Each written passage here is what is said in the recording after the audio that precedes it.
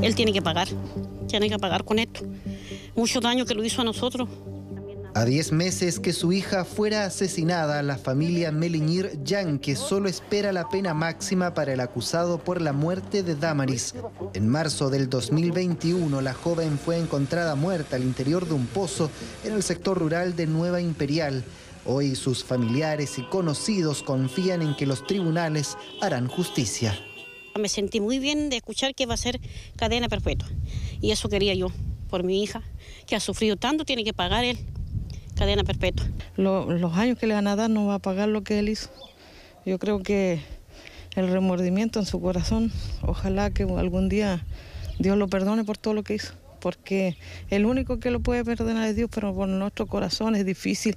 Lo que abrió una ventana de esperanza entre los familiares fue la solicitud de la Fiscalía de la Araucanía al pedir presidio perpetuo calificado para Luis Salas Muñoz, de 64 años, acusado del femicidio de la joven.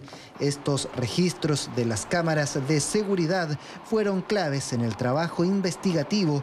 Allí se ve a Damaris salir de su trabajo y luego abordar el vehículo del imputado. Las penas que se están solicitando son proporcionales a los hechos por los cuales se dedujo formalización en su momento y se presenta acusación.